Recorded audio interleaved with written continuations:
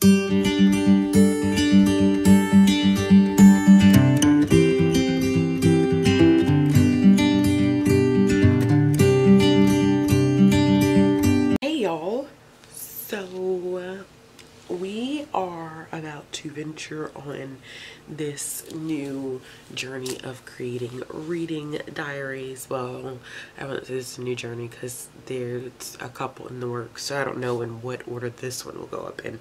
But I am doing a reading journal or reading, not a reading journal, a reading diary. Oh my gosh, strap. Um, for the Throne of Glass series. I decided to do that because I wanted to kind of document my experience reading this series because I feel like it's going to be a heck of a journey and I have waited so long. The series is finished. Everybody has read it. I have not.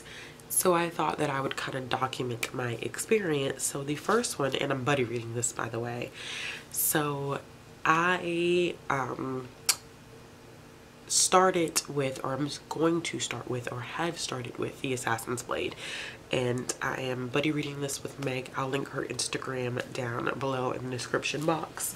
So like I said we started off with the Assassin Blade which is the book of five novellas that focus on the character of Celaena Sardothien um, prior to the events that happened in Throne of Glass. So I have read Throne of Glass. I just have not read the Assassin's Blade and I am actually finding it pretty interesting. So I've only read the first story and I've kind of held off from reading this because I wanted to make sure that I was vlogging at least after every story. Like I may not be able to vlog during every like every part that I read, but I do want to kind of give my thoughts on each story. So there's five stories in this. The first story is The Assassin and the Pirate Lord. I will warn you guys that these reading vlogs or reading diaries are going to be filled with spoilers. So if you haven't read the series, don't watch this because I really want to discuss stuff fully and in totality like i don't want to shy away from stuff. Trying to keep it spoiler free i may do spoiler free reviews later separate but i really want to delve into how i feel about the text in um in these in in these video clips and these vlogs. So it's gonna end up being one a month because we're reading one book a month. I think the bigger the book the more in-depth the reading vlogs will be. So I, this one may not be as in-depth as i wanted to. So after that three minute introduction let's kind of talk about the first novella which is the assassin and the pirate lord. So the one thing that i did not like about the assassin's blade and this is probably because of the fact that i am reading this prior to reading um, Throne of Glass, there's not really much context for who Celaena is. Um, and granted, this was published, I think, after Throne of Glass. So I don't know if I would necessarily recommend people starting. You can start. It's not a spoiler. Um, but I don't know if I would recommend people starting with the novellas as opposed to starting with Throne of Glass because there isn't really much character context in this one, meaning that I think that um, Maas writes in a way in which she assumes that you already know some stuff about Celaena. Um, is it Celaena or Celaena? I say Celaena. So somebody correct me on that. Um, I think she writes in a way that you should already have some context of who Celaena is. And I do have a little bit because I've read Throne of Glass, but I think had I not read Throne of Glass first, you know, a while ago, I think it would have thrown me a little bit. But one thing about Celaena that I did notice in this first story is that she is very cocky she's arrogant. I think she she teeters that line of being cocky arrogant and confident. And i admire her confidence. Sometimes she crosses that line and i'm like all right you know you're getting a little bit above your own britches but i think we get to see this in this light because I feel like in Throne of Glass she kind of gets knocked down from that pedestal um, especially when she ends up in the mines in the first one but in this Pirate Lord we kind of see that her um, her confidence is soaring she starts off by being upset because the guy who is the the leader of the assassins Arobynn. Um, he seemed shady to me, y'all. Even from the get-go, like, even in the first couple of pages, it just, he seemed like he was not who Celaena wanted him to be and I, I think she's kind of blinded by her relationship to him because I mean like he's practically raised her type of thing. It's kind of like having like a toxic parent like you love them you've been raised by them but it takes you a little bit longer probably than the person on the outside to notice that they're toxic and not good for you I think it's kind of that parent-child dynamic that they have going on but you can see that she's kind of like his right-hand man, right-hand woman. Um, and she's very confident in her ability as an assassin and I really do enjoy that. I already sensed the tension between her and Sam even though they were like quarreling quote unquote there's a lot of tension I would say sexual and romantic tension between the two of them that's subtle in the beginning but of course by the time we get to towards the middle and end of the pirate lord you can see it building. I um loved that she was very set on freeing the slaves from the pirate lord. First of all i loved that she was super cocky with him.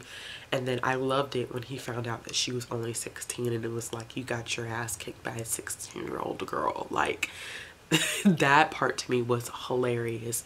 But I loved her confidence. And then the fact that she really really wanted to do the right thing by freeing the slaves even if she knew that it was just a trade that was always going to continue and that it was something that she inevitably couldn't stop. But if she could help these you know 100 200 people in this one instance she would.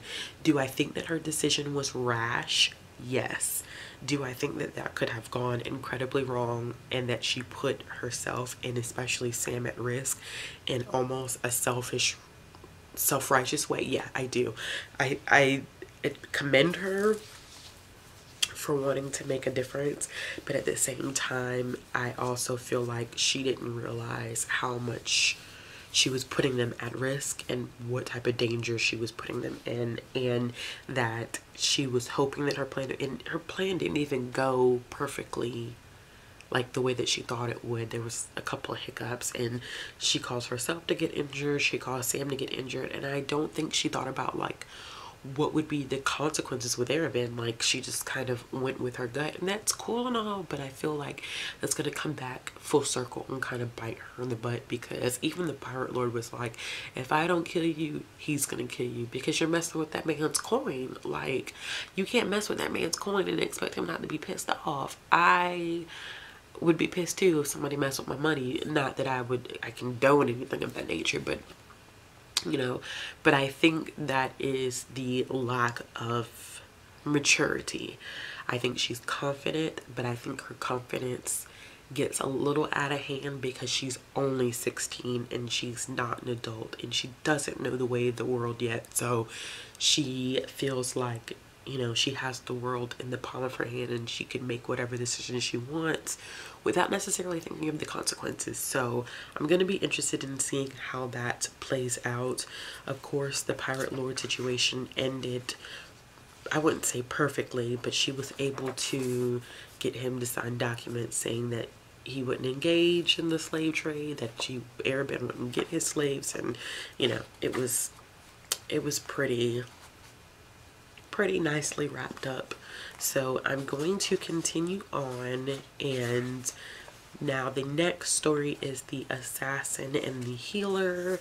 So I will probably take a little bit of time and read that one. And then once I read that one, I'll check back in for um, just a regular, oh, I don't want to say regular checkup. I'll check I'll check back in just to kind of share my thoughts and how I feel about this next story.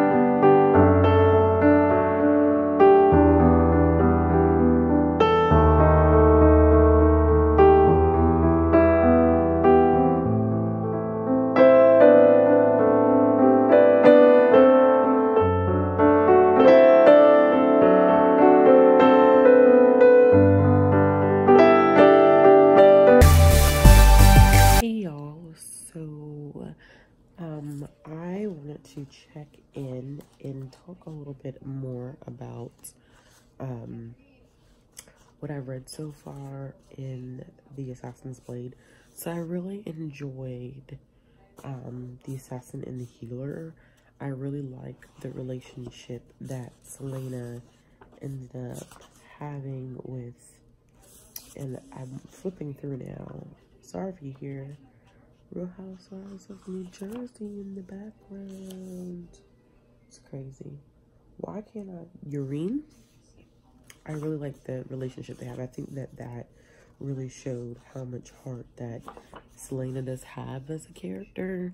Um, and then the assassin in the desert was just was crazy. Like, so I kind of I because I I'm annotating my copy. You can see, on, let me hold it up.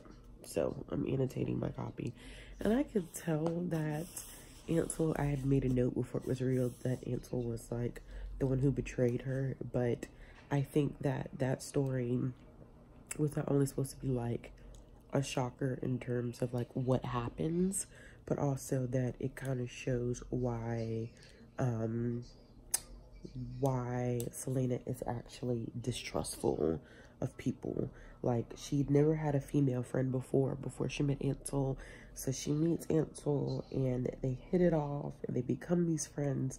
And then she betrays her and it's like you can tell like it broke Celaena's heart. And you know, I think the first time I read of Glass, I was kind of like, why is she such a bitch? Um, but she's not. I think a lot of it, and this is just like character study, like she's been through some really crappy things and it's made her into this person that maybe she doesn't necessarily want to be, but she is that person because of the fact that people have done such horrible things to her and it really sucks. So I really, really enjoyed, I'm, I'm just really enjoying the book overall. Like I'm very surprised. I know people like throw a lot at Sarah J Maas because she's not a diverse writer. She's not. Um, you're not going to find many characters of color. You're not going to find queer characters. Like it's pretty whitewashed if we're just keeping it 100. But um, she's a good writer. I will give her that. Like I don't have as much time to read physical stuff as I always say because of the baby, but she she can write. I think that she can write. So I'm gonna continue. I'm on the assassin in the underworld. So I'm gonna continue reading that. This is after everything has happened with Celaena and um after she betrayed Arobynn in the first story and she gets sent to the desert as punishment. Well, talk about like her getting sent to the desert as punishment. Like he beat the shit out of her. And I feel like we're talking a little bit about abuse in here, but um, not super, super deeply. And I can understand why. But I like that in certain parts, like it emphasizes, like, you know, even in a section where she says, um, that was Arobynn's way of expressing his hurt, she does say, like, that's not an excuse. And it's true. Like, even if he was hurt by her betrayal, like, you don't do that. That's It doesn't make it right. Um, and I always say, like, stuff like that is not justification, but an explanation as to why something has happened. So, I'm going to continue to read um, The Assassin in the Underworld on, on page 243. I will do a check-in um, before I finish, or maybe after I finish the story. All right, y'all, so I'm doing another check-in. I just finished the fourth novella in this one, which was The Assassin in the Underworld. And while I enjoyed it, I did find it a bit predictable. I didn't understand how Celaena did not see so much of that stuff coming. Like, as soon as I started reading and I'm glad that I'm annotating it because like you can see my thoughts are correct like in the beginning of the story before the big reveals.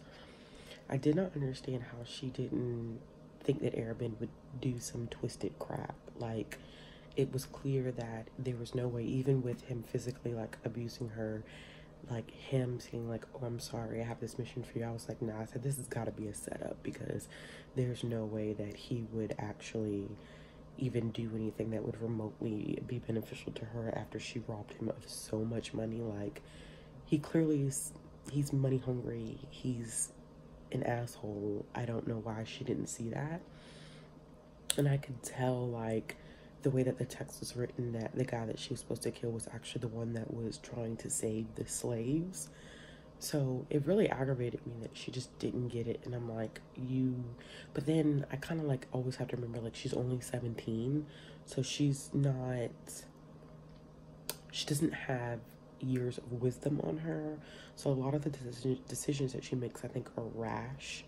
Um, and they're quickly made because she is young, you know, like, and she's not necessarily thinking 100% the way that she should. Doesn't mean I dislike her as a character. I just was like, come on, Celaena. I, I kept rooting for her to see it before things went wrong and she couldn't see it. Um, I love the tension between her and Sam. I do not feel like it's insta love. I actually like the romance because it's like she's super focused, but in a lot of parts of the book, like it definitely shows that she cares about him deeply. Um, and that she feels for him in a way that she didn't expect. And I love that she still was able to kind of let herself go with Sam, even after, um, even after Anzelin like betrayed her so badly in um, the assassin in the desert. Like that really, really, I, I was rooting for them because she needed to be able to trust someone. She needed to be able to love someone. She needed to be able to care for someone. Um, and I'm glad that it's Sam, especially after everything that has happened, especially after the way that Arobynn has treated her. Like, she needed genuine love and respect from someone, and I'm glad she's getting that from Sam. Um, I love that we learned that she's like musically inclined and gifted, and that uh, bits of this shows that she may have a hard exterior, but she's a softie.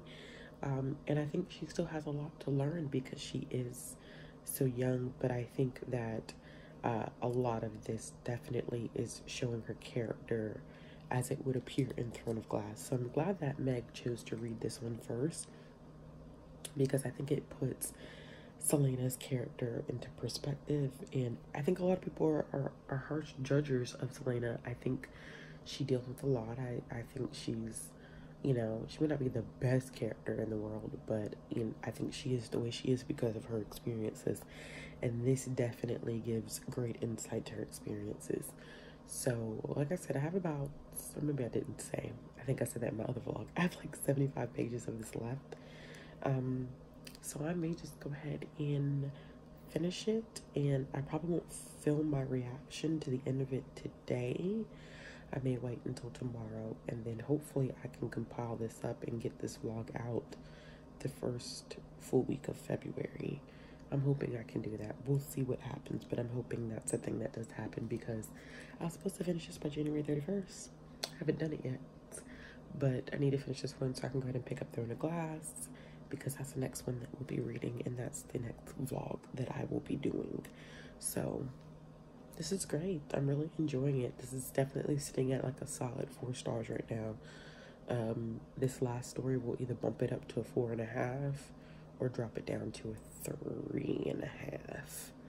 I don't see it being a five star read. Hey y'all, so this is the last and final check-in for this reading vlog of Throne of Glass. So I have finished it. As you can see, I tabbed it like crazy. Um, I really enjoyed it. So I really can't even remember where my last update was and where I kind of talked about what I enjoyed. I think I did like my last update of like The Assassin and the Healer. I don't think I talked about the last three novellas which were um, The Assassin in the Desert, The Assassin in the Underworld, and The Assassin in the Empire. And I think what I really so let me start. I don't know if I should go through each novella because then this is this last clip's gonna end up being really really long. But um, I think I really enjoyed um, the assassin in the desert and the assassin in the empire more than the assassin in the underworld. Because it was just there was a lot that went on with the assassin in the underworld. And um, it was kind of I think like her trying to trying to get back acclimated into the realm of the assassins. So i didn't i wasn't really like feeling that one as much.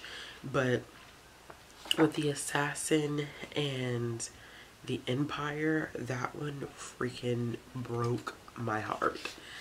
That definitely hurt my feelings but i definitely enjoyed it. So the assassin and um flipping back to the page the assassin in the desert really was um good because you see this different side of Celaena that I think you maybe don't necessarily have access to in Throne of Glass where she is having um, certain personality traits that I think a lot of people don't like. Like she comes off as cocky, arrogant, kind of cold, but you can kind of see why. I think I I know that this was published after Throne of Glass, but part of me feels like, and um, Meg is the one who suggested this that we read this first before we read Throne of Glass.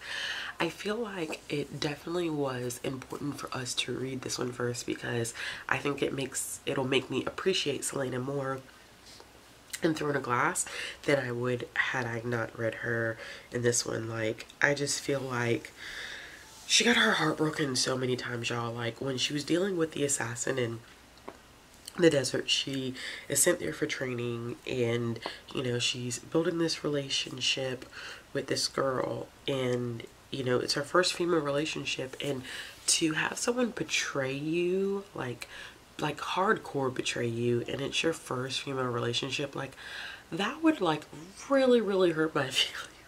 I don't know about y'all, but that would that would truly, truly hurt my feelings. And I wouldn't look at friendship the same way. Like, I've had some really crappy friendships myself, and I it has changed me. It has made me into the person that I am today. I think uh, this book is a true testament to understanding that your life experiences can definitely dictate like how you become in the future or who you become in the future and I know that that really really hurt her. I know that that really really broke her heart. And I really really felt for her to have made a female friend and then just be completely just betrayed. And she was so in love with the fact that she had finally found female companionship in a world that was definitely dominated by men.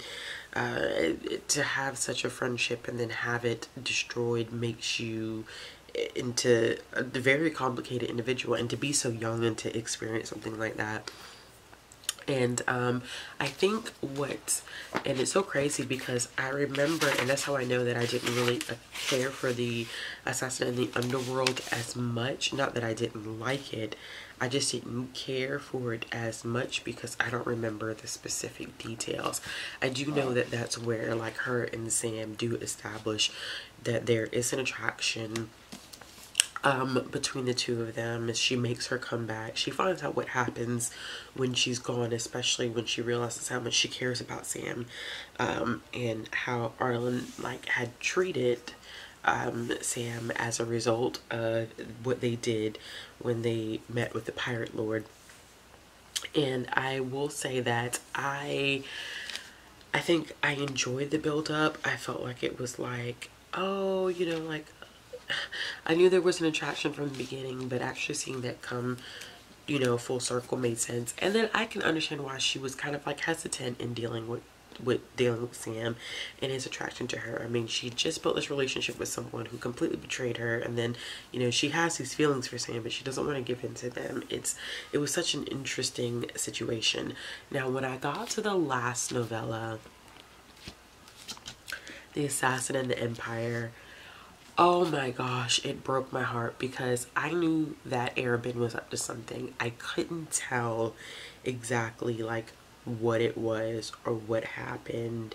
Um, but I knew that when they were proposed with the fact that they, um, you know, they left, they moved out, um, and they needed this money and they, and they got this whole, uh, set up to rob these people um, not rob these people but rob these people of their lives these two huge like crime lord people individuals.